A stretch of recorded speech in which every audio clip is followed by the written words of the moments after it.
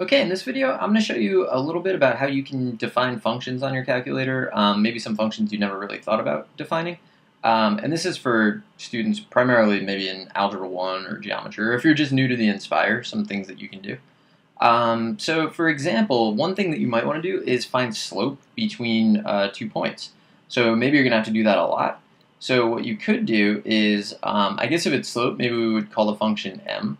So I'm going to say m of and if you think about it, uh, what I really want to do, so before I get into it, is I really want to do change in y, so like y2 minus y1, and then I want to divide that by the change in x, so x2 minus x1.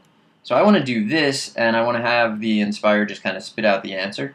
So um, you can see I hit enter, and the Nspire did some weird algebra, and it decided to flip them for me. And that's fine. Um, so I'm going to call it m, because m is usually what you call slope and it's a function, so I open parentheses.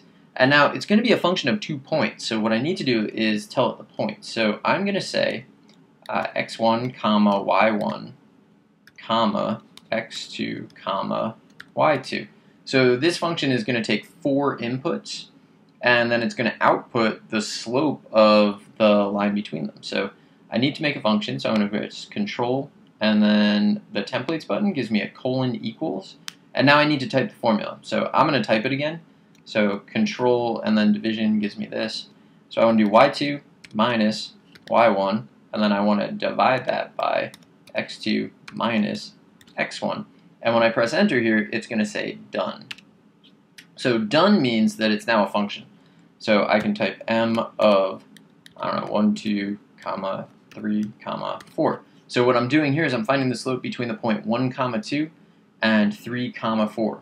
So if you think about it, the change in y should be 4 minus 2, so 2 over the change in x is 3 minus 1, which is 2. So I should just get 1 here, which is fine. But what if the point um, is a little stranger? So because I defined a function, it's now in the var key. So m of, so say the point is 1 half comma negative 3. And the second point is, let's say, 3 fifths comma, I don't know, negative 2 sevenths. So I should really use a fraction. Template. You want to get in the habit of using the fraction template as often as possible, so 2 sevenths. So this is going to find the slope of the line between 1 half negative 3 and 3 fifths comma negative 2 7. So we got two points. Both of them are kind of ugly. When I press enter, though, the calculator doesn't care. It works it out for us. It gets 190 over 7. So that's a pretty nice function that we can de define. Um, and I want to stress anything that you are regularly plugging values into, you could define as a function.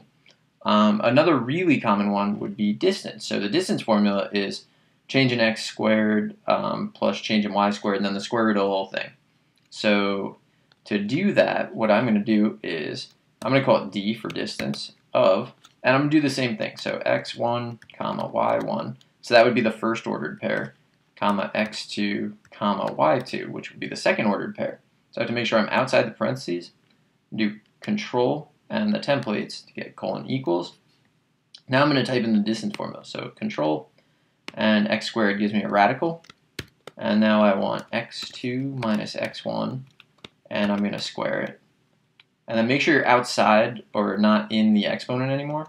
So arrow to the right, or you can hit tab from in there. And then plus, open parentheses, y2 minus y1 get out of the parentheses, squared, and I'm going to press enter, it's going to say done. And now what can happen here is if I press the var key, I can see there's m and d are both functions. So if I want to find the distance, say I want the distance between the point 5, negative 4, and the point, I don't know, 12, comma 3. So it's 0.5, negative 4, and the point 12, 3. You have to remember that um, how you define the function, but when I press enter here, it's going to give me the exact value. If I want an approximate value, I would press control enter, and it gives me a decimal. Um, and now I can find the distance between any two points, and it's, it's pretty useful because um, I can use that to solve harder problems, or it just speeds things up for me. But anyway, that's um, a way that you can use your Nspire to define functions and speed things up for you, make sure you're not making mistakes over and over. When you do define a function, you want to check your function over a, a bunch because once you define it, if you use it, it's always going to give you the right answer if you define it correctly, but it's always going to give you the wrong answer if you define it incorrectly. So after you type it, you do want to take a look at it and just make sure.